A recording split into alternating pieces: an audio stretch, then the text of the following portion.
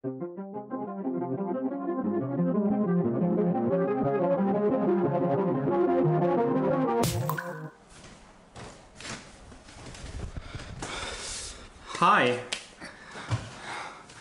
A long time, huh? Oh, I need my phone.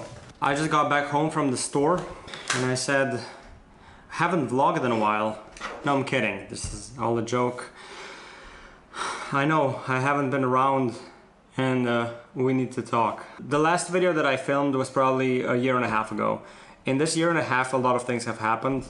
I'm gonna keep some things really, really short just to kind of like put it out there and move on. Uh, beginning of last year, I lost two of my relatives, um, grandparents. It was a long-term illness, so we saw it coming, but it's never easy when it does. I'm not gonna go deeper into that. Right at that similar time in April, I also uh, found out that I have gallstones in my gallbladder. I went to the ER.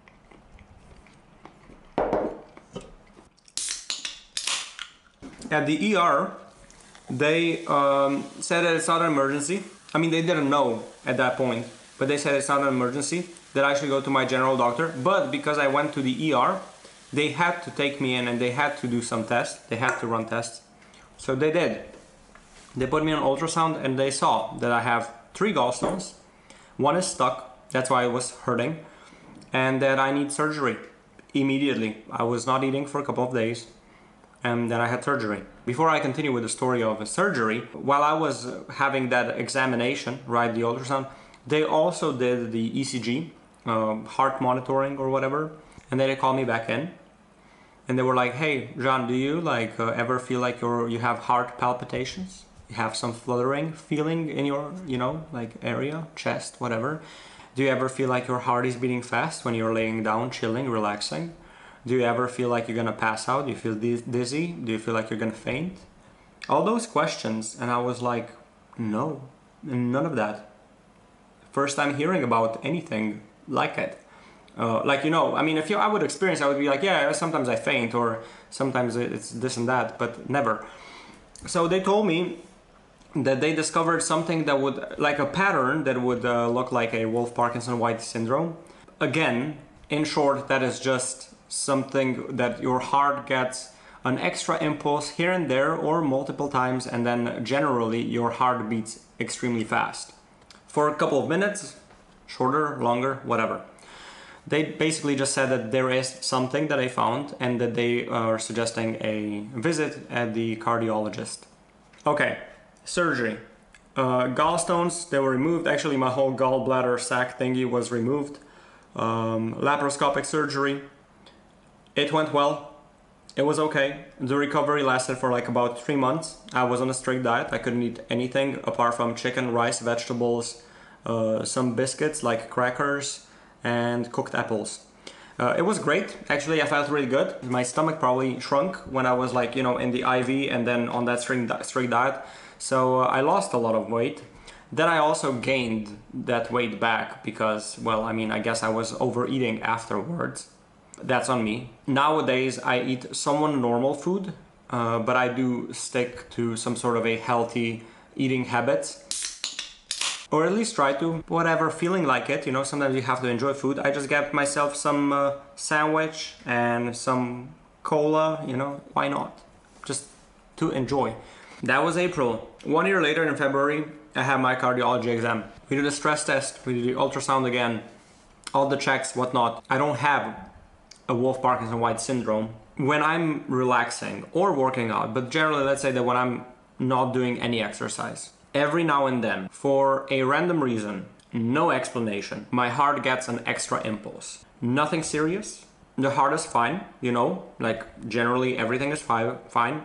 All the valves, all the um, whatever blood flow, everything's fine. The circulation is okay, but my heart apparently gets an extra impulse. What I need to do is I need to um, measure my blood pressure and make sure that it's like in the normal ranges. If it goes up, it's not good. Uh, preferably, they said they would like to see it lower, but that is also probably, now again, I am not a doctor, but they said that probably connected to my low physical activity because ever since that April my uh, gallstone surgery and being bound to my couch for a couple of months, couple of months, couple of weeks. But then you know, before I got back into exercising and also taking things like a lot slower than I um, would usually probably. Yeah, I was kind of like couch bound, bed bound, very limited movement for about you know six months. And then, of course, with all the things that I did in my life, you know, work or streaming or whatever, I didn't exercise as much as I would have to or should have. But I was also, during all that time, ever since I was told that there is something with my heart, until the cardiology actual like specialist uh, checkup exam, uh, I was stressing out about my heart and I was like, I shouldn't exercise because what if something's wrong and I'm gonna make it worse or, you know, whatever explanation or excuse I can give you. That's why it didn't really work out. I did go out, I did go on walks, I was like moving, but like it wasn't excessive, it wasn't like, you know, actual workouts. My heart is fine, I just need to be more active and everything's gonna be okay, apparently. Well, we'll see. But for now, I'm okay. I'm not stressing out about it it's fine. Okay, that's it. That's like a quick recap of my year and a half, past year and a half. Uh, the streams have been good. Okay, I don't know. That's a lie. Streams have been okay, but I would say that I'm I'm seeing like a like a like a direction. Okay, that's better. Uh, streams have been not great in the past year and a half, but lately, uh, especially starting this year, January 2024, I am getting some direction, getting some sense, getting some motivation for the streams, for the content. I'm enjoying it, and that also is uh, well. I mean, it's it's seen in the numbers, so it's good. I like it. I'm enjoying it. It's motivating. So now, future of the vlogs and like overall thought process of my vlogs. I have these things written down, so I'm gonna like read some, but like most of it, you know, I'm just gonna try to explain it. I loved filming, but even more than filming, I loved the editing part. What I didn't like and what sucked for me when it comes to vlogs was coming up with content, coming up with things to do to film them. And I felt, it felt like I was making things up just to film and just to have something to put online. It became repetitive. It became, well, for me, it became boring. It became just not it. And then I was thinking like, if that is the content creation, then I don't like it. I don't want it. I, I don't want that to be my life, you know? So I'm thinking, looking ahead, right? I'm looking for stuff that I want to do that inspire me and that maybe potentially they will, you know, inspire you. Maybe you will learn something or if none of that, at least find it interesting to see me do something, okay? So we'll start with those today already. Uh, moving forward with the vlogs, uh, I will say that I will film and I will try to stay as consistent as possible because I feel consistency is the most important. Whatever it is, at least stay consistent. Uh, and I do accept that sometimes life, my life, it will be boring, will be stale, will be uninteresting. And I just have to find ways to creatively, uh, you know, represent it, present it, show it off, off. No, that's weird um, creatively find things that stand out. And then we'll see. I'm gonna finish my food. I'm having an amazing sandwich with eggs. Uh, don't judge me. I mean, it's been a year since my year and a half since my surgery. Yeah, year and a half since my surgery, and this is amazing. It's a protein sandwich with eggs. You get it in Aldi or Hofer, whatever you you know, whatever uh, store you, you, you have. It's the same thing. Uh, protein sandwich with eggs. This is my lunch. I'm having some cola, you know, to enjoy, and then uh, we are making uh, pickles. Okay, so this will be my first voiceover since I thought it's gonna be easier to just tell you about the recipe instead of like, you know, writing things down. For vinegar, I'm using a 9% white vinegar or alcohol vinegar. My mix is basically one third of vinegar and two thirds of water and then you just add salt, coriander, pepper, and all other spices if you have, you know, other preferences. You can also put sugar if you like it a little bit more sweet. Then you put everything to a boil and let it simmer for about 3 minutes. While you're waiting for the mixture to cool down, you cut your vegetables. Here I was testing the cucumbers that they are good because you don't want them to be bitter or leave any kind of uh, bad taste.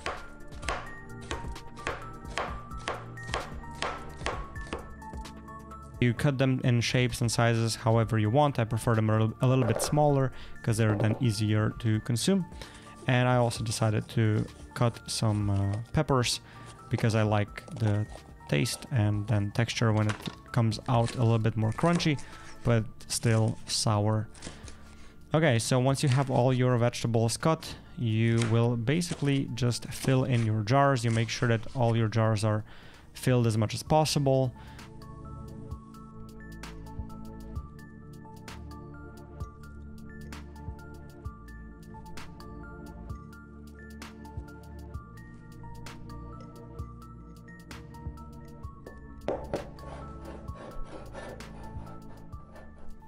Okay, once you are filling your jars, you will let your mixture uh, cool down because you don't want to fill it in when it's too hot. And then you want to make sure also that you are filling in your jars all the way up. I noticed I didn't have enough mixture because I probably just, you know, messed up with my measurements or whatever. I add a little bit more water as you can see. I also added some of the spices uh, extra into the jar so that it would leave a little bit more taste. And then you just close the lids and that's it. I didn't do the whole process of pasteurization because I will be basically consuming them in the next weeks, so it is not really needed. I just store them in the fridge once they cooled down enough. And that's it. They are nice and crunchy, also soft, or somewhat soft, and they have a really, really uh, nice, pleasing sourness to it. There you go. Yeah, I thought this whole process will be a lot more complicated, but it isn't. So I would, uh, you know, if you like it, make it at home because it is very, very nice. Here we go, my pickles. So here are my cucumbers pickled and then we have a bit of bell peppers because I had them too and I said why not also uh, pickle them. I don't know if this is, is it like, I, I, guess the proper way to say is pickling, right? I pickled the peppers and I pickled the cucumbers or something. Anyway, that's it. You might have noticed that I added a bit of water. I thought I had my measurements right, but I didn't. So I had to add more water. But while I was tasting, you know, because you always have to taste test, when I was tasting, I figured it's a bit too sour. So adding a little bit of water to dilute it all uh, will not be a bad idea. Well, it wasn't a bad idea. It's not a good. It's not a bad idea. Now, one thing that I'm still wondering, uh, I do like sweet and sour taste. I have to figure out what sweeteners I can add, if not only sugar. So maybe next time we make sweet sour pickles. Okay, this is it. I hope you enjoyed this uh, short tutorial and uh, I don't know what else to say. I'll see you later. So, um, you know, this week I'm trying to upload more things on uh, TikTok. I'm now posting two times a day. And I have to say, I'm seeing some decent results. That was the first one after, you know, a couple of months. And then we have second, third, and then see, these two both got over 1,000. Uh, and now we're back, you know, this this one was yesterday. This was not like that, uh, that, that that good, I guess. But uh, these two today, I think this is decent. 500 and 390, uh, so almost 400. Pretty cool. In Ljubljana, currently, we have 29 Celsius with a 59% humidity. We have excessive heat warning 12 hours ago. High temperatures will affect the health of sensitive members of the population. And since I'm melting inside here, um, even though I have the fan running, I am going to go on a walk because I feel outside is gonna be a little bit more fresh than indoors. So yeah, let's go for a walk. Hello, it's me with another narration video. I actually messed up some of my camera settings, so it is what it is. I decided to go for a short walk to clear my my head, you know, I just think about stuff. I went to the local park, it was nice, just a few people around, and it was actually very, very refreshing.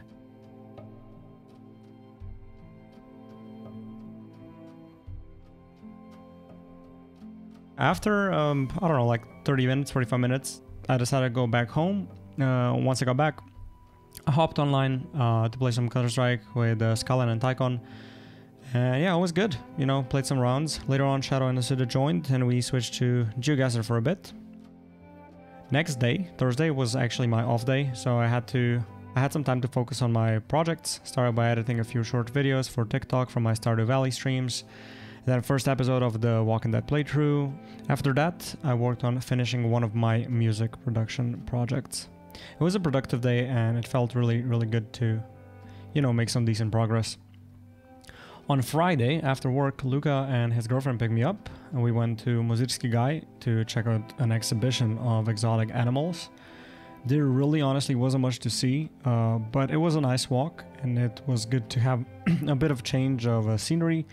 Uh, they are actually also a botanical garden kind of thing, so lots of flowers, lots of um, plants to, to check out, and it was nice, it was good.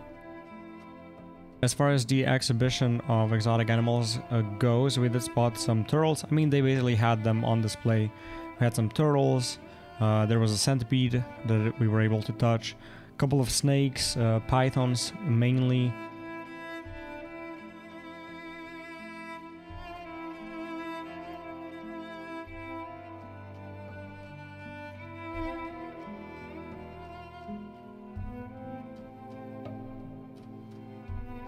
They also had some snails that were interesting to see. Like, that's probably one of the biggest snails that I've ever seen. I think they said it's like the biggest snail in Europe. Uh, there were also bearded dragons. We actually had a chance to uh, catch them when they were feeding him. Towards the end of our visit, we spotted some parrots, and to my surprise, they also had a real beehive with like active bees. Was pretty crazy. One more thing, this whole botanical garden has these very interesting wooden structures and small houses, like, you know, a little village of dwarves would live there.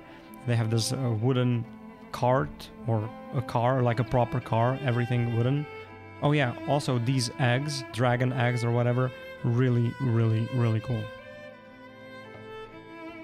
Afterwards, we decided to grab some food and we said like why not go check out this newly opened KFC that just opened in Ljubljana.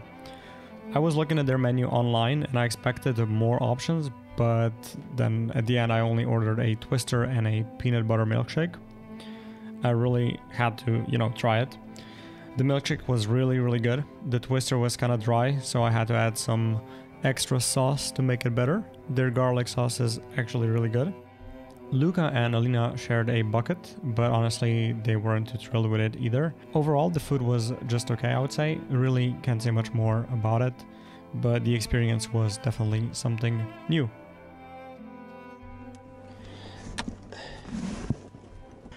Good morning. So I'm on my way to my parents. Me and uh, dad, we're gonna work on a scooter, basically fixing it, and hopefully it's gonna start. Uh, last week we already opened it and we kind of like cleaned some things, and then we figured out that a fuel link or fuel tap is broken.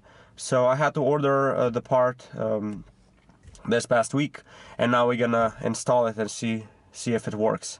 It is 10 a.m. and it is so hot. I'm sweating just sitting in a car. how am I? How am I then sneezing if it's so hot? Hate it. Here it is. The back. This right here is the part that was that was broken. We have to replace this whole thing. The problem is that we have some some fuel in the tank. Uh, and this is new one.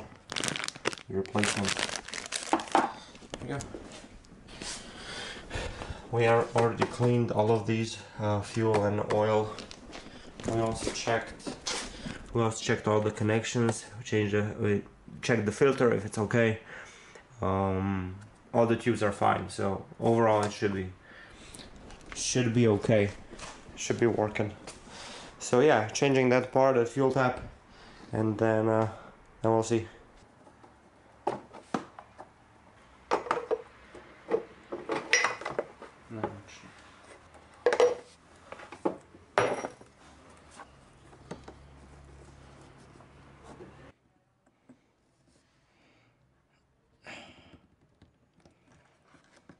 Yeah.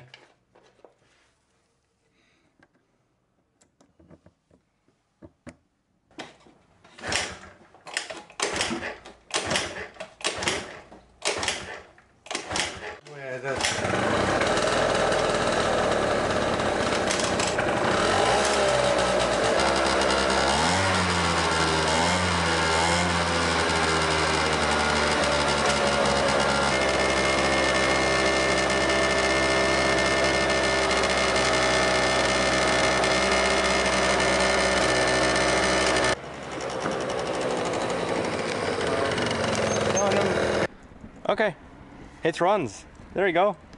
Fixed it.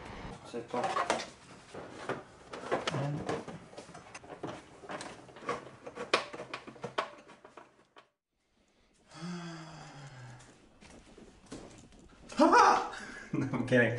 Got a haircut. There you go. There you go. Just because you said that I had to get it, so I did. Good morning. It's Tuesday. I have a stream today, but I'm gonna finish this vlog. And I just wanted to say uh, I hope that you enjoyed it and thank you for watching. Now I'm off to edit and finish wrap this up, and I will see you on uh, the next one. Bye bye.